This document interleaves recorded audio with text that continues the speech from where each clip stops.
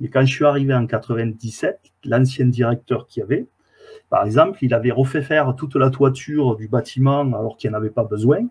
Et un week-end, euh, il avait euh, demandé à deux salariés de venir enlever les dalles qu'il avait rajoutées sur la toiture pour aller les poser sur sa piscine personnelle. Et, des choses comme ça, ces directeurs-là, c'était des directeurs qui négociaient des marchés arrangés avec l'extérieur. Donc déjà, ça a commencé par une corruption locale. Ensuite, les acédiques, euh, dans les années 90, elles ont commencé à fusionner de telle manière que tout soit centralisé à l'UNEDIC. Donc, euh, les centres informatiques en ont fait partie, mais il n'y a pas que ça, les politiques d'achat, c'est pour ça en 2000, ça avait fusionné avec les appels d'offres, etc. Et, tout. Et ça, ça s'est retrouvé, ces pratiques-là, au niveau national. Quoi. Alors, on a eu des scandales médiatiques qui sont passés, hein. des récents euh, avec euh, l'UNEDIC qui a continué à exister, avec un directeur informatique, hein, mais on en a eu d'autres dans des régions, etc. Par exemple, moi, je peux vous raconter des anecdotes, parce qu'on en a, hein, UNEDIC cette fois-ci. Euh, moi, j'avais une copine euh, avec son service, hein, il faisait du test logiciel. C'est-à-dire, il faisait la chasse aux bugs, euh, enfin, au dysfonctionnement logiciel. Et donc, il testait les bases de données par rapport aux fausses déclarations de demandeurs d'emploi. Donc, euh, pour faire ces tests-là, euh, on ne peut pas utiliser du récurrent parce que ça fait un biais statistique.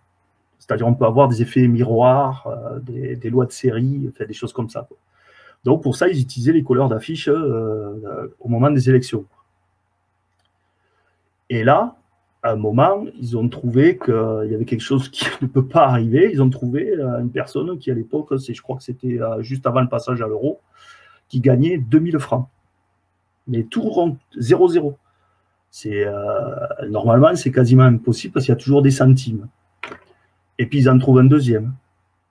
Et puis ils en trouvent un troisième. Et comme ça, une quinzaine. Et 20, 30. Après, ils commencent à regarder les données. Ils commencent à se rendre compte que c'est rattaché à, une CEDIC euh, virtuelle qui n'existe pas. Alors là, ils se disent c'est fraude. Donc on est embêté parce que nous on est des techniciens, on est tous euh, famille quand même dans, le milieu. Donc il fallait qu'on annonce ça au directeur de la région. Euh, c'était délicat, euh, on avait pris une fraude, il savait quelqu'un qui fraudait dedans. Donc il faut une réunion, donc une édique, acédique régionale. Quoi. Et euh, donc, ils, approchent ça euh, doucement pour pas trop choquer le directeur, etc. Et puis, ils finissent par dire, voilà, on a identifié une fraude. À ce moment-là, il y a le directeur de, de la CEDI qui dit, vous fermez votre gueule ou sinon on vous vire.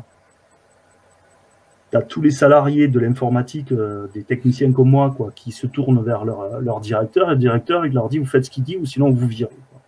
Et donc, euh, ils ont soulevé un lièvre parce que c'était du détournement de l'argent de, de, de la CEDIC pour financer un parti politique libéral. Du RPR, si vous voulez l'étiquette. Il a sauté, le directeur, mais ça a été censuré dans la presse nationale parce qu'il fallait pas dire que c'était des, partis qui soutenaient les employeurs qui détournaient l'argent des salariés. Et, et c'est sorti dans la presse, je vais vous raconter pourquoi, parce qu'ils ils ont voté entre eux euh, ils l'ont envoyé au canard enchaîné. C'est par le canard enchaîné que c'est sorti. À un moment, euh, on est des salariés, bon, on est subordonné, on est d'accord, mais la subordination, c'est pas non plus de la prostitution. Moi, la direction, elle a essayé de me faire passer pour un mythomane. Et on a gagné en justice. Alors, euh, quand tu leur dis tu as gagné en justice, puis là, tu as la Cour des comptes qui vient de sortir, en plus que c'est ça. Et, en plus, je vous raconte pas ce qui, je n'ai pas de trace écrite, quoi mais euh, c'est qu'un témoignage que je peux vous, vous passer. Moi, j'ai la direction qui m'a proposé la corruption ouvertement. Quoi. Et euh, elle m'a, elle m'a ouvertement dit qu'on avait tout deviné. C'est là que j'ai appris que c'était piloté de Bercy, parce que nous, on le savait pas. Parce que j'étais au titre de mon syndicat quand même, mais là, c'était la corruption individuelle qui me proposait. J'ai écrit dans mon EPA depuis trois ans, depuis que Pénico, non, deux ans, c'est pour faire non Pénico, je sais plus. Je leur ai écrit tout ça. Tout ce dont j'ai été témoin, quoi. Et euh, bien sûr, ils ne m'ont pas reçu parce qu'ils sont mal, et surtout qu'une partie est validée en justice. Quoi. Donc, ils peuvent pas dire. euh, et donc, j'ai fait mon boulot, moi, en tant que professionnel, d'avertir ma direction qu'il y avait des, des problèmes de gestion. Et, et j'ai j'ai averti l'inspection du travail. J'ai demandé- j'ai donné l'autorisation à l'inspection du travail d'utili- d'utiliser mes données et de me citer. J'ai prévenu la médecine du travail au cas où il se passerait quelque chose de, de louche, quoi. Euh, bon, après, si j'aime bien à faire un témoignage visuel euh, comme ça, c'est parce que aussi, euh, les gens croient que les instances juridiques, ça marche comme il faut. Nous, on a bien compris, quand ils ont étouffé l'affaire OTA, que tant qu'on touche les petits, il n'y a pas de problème, mais quand on va toucher le cocotier du haut, euh, là, euh, il y a les moyens et les pressions sur les, les- hauts fonctionnaires de l'État. Ça va jusque-là. Ils ont créé un décret pour préparer la fermeture des services informatiques. Parce qu'ils nous externalisent, quoi. Donc, euh, et nous, on n'avait pas compris parce que c'est assez pareil. Quand on fusionne euh, les services informatiques, normalement, ils n'ont pas un statut de PA, établissement public à caractère administratif. Et euh, c'est là qu'on a compris pourquoi ils avaient, ils avaient fait cette, ce décret pour modifier euh, le fait qu'ils puissent fermer un EPA. Pour fermer un EPA, normalement, il faut que ça soit voté par les, les parlementaires. Euh, C'était en fin 2017. Euh, on faisait un déploiement de nouveaux téléphones numériques sur la région de la Gironde. À ce moment-là, je travaillais, euh, enfin, il m'avait trouvé une fonction, on va dire, pour essayer de me reconvertir. Et vu ce que j'ai vu, j'ai pas pu continuer. Mais donc, c'est ce que je vous raconte. Donc, euh, on, déploie des téléphones. Donc, à, l'époque, je travaillais pour la téléphonie à ce moment-là.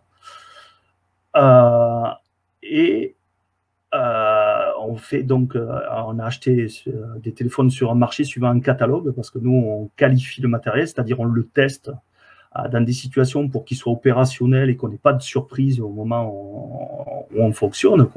Donc, ça fait partie des processus, on va dire, industriels de toute grosse boîte, quoi. Et donc, on a un catalogue, tout est externalisé. Donc, on commande nos, téléphones sur un catalogue qui est un catalogue d'un fournisseur extérieur. Avant, c'était nous qu'on commandait les lignes, c'était nous qu'on faisait les déploiements, tout ça, c'est externalisé. Ça passe par euh, une première boîte qui elle-même sous-traite. Donc ASFR, c'était à ce moment-là, qui a commandé les lignes pour nous les raccorder. Ensuite, il y a Alcatel qui fournissait les, téléphones. Et puis, euh, je sais plus, il y, a la société de service qui fait le déploiement. Alors que tout ça, avant, c'était géré en interne. Euh, donc, je ne vous explique pas non plus aussi, soi-disant, les baisses de coûts, comment ça se transforme de 3 à 10 fois plus cher parce qu'on l'a montré au CE. On a fait une expertise qui a montré que l'externalisation, c'était des coûts de 3 à 10 fois plus. Par contre, quand ils vous parlent qu'ils font des économies, c'est des économies de masse salariale. Ça, c'est pour euh, ceux qui n'ont pas compris. quoi. Et donc, euh, on déploie ces téléphones, ils arrivent la, la, veille du déploiement, quoi. Et euh, la, personne de la société de sous-traitance qui nous fait le, le, le, déploiement ouvre les cartons et c'est pas les téléphones qu'on a condamné, qu'on a commandé, pardon. Donc euh, nous, on est allé vérifier, on s'est rendu compte qu'on s'était pas trompé dans la commande parce que c'est la première des réflexes, c'est de dire c'est nous qu'on a merdé, quoi. Et à ce moment-là, on est en situation de crise parce que le matériel n'a pas été testé. Euh, donc on ne sait pas si on va pas avoir des surprises ou des choses comme ça. Donc on passe, ça monte jusqu'à notre comité directeur, les, des ex de la multinationale de Capgemini. Et à ce moment-là, euh, ils, valident entre eux. Alors moi, j'ai pas participé à ce moment-là. Donc on déploie deux jours après, euh, parce qu'ils nous avaient garanti que para plus B c'était compatible. Deux jours après, il faut changer tous les casques de la région. Donc euh, c'était la région donc de la Gironde, elle refusait de payer cette surfacturation, 80 000 euros si vous voulez savoir le montant à peu près. Quoi. Et donc, c'était à, l'informatique à le prendre en charge. Alors, euh, nous, on a regardé, on a regardé les contrats. Donc, c'est de, des appels d'offres euh, et des marchés. Donc, déjà, c'est de la vente liée parce que quand on achète euh, un matériel et qu'on vous vend un produit à côté, ça s'appelle la vente liée. Ensuite, ils avaient le droit de nous donner un matériel compatible, etc. Mais ce n'était pas le cas. Donc, ils n'avaient pas respecté le contrat. Donc logiquement, euh, dans les contrats, il y a des, accords de pénalité, etc. Donc on s'est dit, on va, on va, jouer là-dessus, quoi. On va aller au conflit et, euh, on va se faire rembourser, quoi. Donc on est passé par le, notre chef de service nous donne le feu vert. On, arrive jusqu'au comité directeur. Et là, euh, j'ai mon collègue, moi j'étais en live avec lui, hein, qui expose tout ça. On se fait pourrir euh, mais quelque chose que vous ne pouvez pas imaginer. Quoi. euh, vous êtes des inconscients, 80 000 euros, vous y pensez pas, euh, c'est une dépense, ça nous fout le budget en l'air, etc. et tout. on externalise tout. Et là, j'ai le copain, il fait un bip. Moi, ça ne m'a pas étonné, hein, je, les connaissais. Et il lui dit, mais attendez, c'est déjà tout external. Ah, super, on paye, il raccroche. On n'a même pas eu à négocier des pénalités, etc. Et là, c'est pour vous montrer le vécu qu'on a en interne. Et quand on est comme moi, moi j'ai dit stop, ça suffit, mon placardisé. Et ils vont peut-être même me démonter peut-être après, j'en sais rien. Mais, euh, et c'est parce que un moment, si on ne fait jamais rien, on ne changera jamais rien. Et ça va être de pire en pire. C'est pour expliquer ma motivation. Quoi.